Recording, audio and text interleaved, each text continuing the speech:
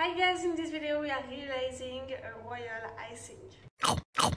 Yummy! We need 3 egg whites, a squeezed half lemon, you will use only 3 teaspoon lemon, 1.5 teaspoon of glycerin or liquid glucose, and 580 grams of icing sugar.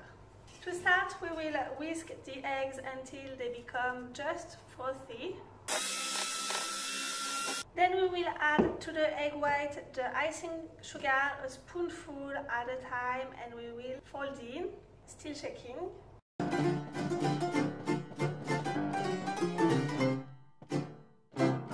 Well, then you will add in there 3 teaspoons of lemon and 1 teaspoon and a half of liquid glucose.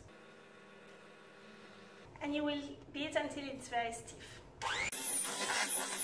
If your icing stand up in peaks, like that, that means it's ready, it's okay. And this is it, you just have to spread it on your cake and it will get a bit dry. If you don't want to use it straight, you will just seal it up with a cling film, for example, to use it later. I hope you will enjoy this recipe and I'll see you later for a new one on Bouche. Bye bye!